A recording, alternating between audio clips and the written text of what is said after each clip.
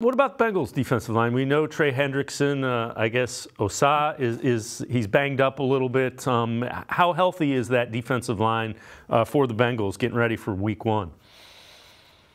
Yeah, well, outside of Joseph Ossai, who seems like he's going to be missing a little bit of time here due to the injury that he suffered in the preseason, they're really healthy. Um, and that's another area of this Bengals team that I don't think gets the recognition that they rightfully, I think, should deserve the fact that they don't generate as many stacks, and I know sacks seems to be what's one of these stats that everyone gets so excited about when it comes to defensive players.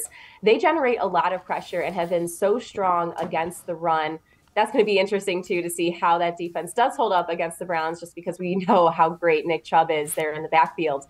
But this defensive line, when you have Hendrickson and Sam Hubbard on the ends, and then inside in the middle, DJ Ta- uh, DJ Reader, excuse me, is one of the best defensive tackles in the game, and you almost never hear his name talked about. Paired up with BJ Hill, who has quietly gotten better and bolstered that defensive line for the Bengals.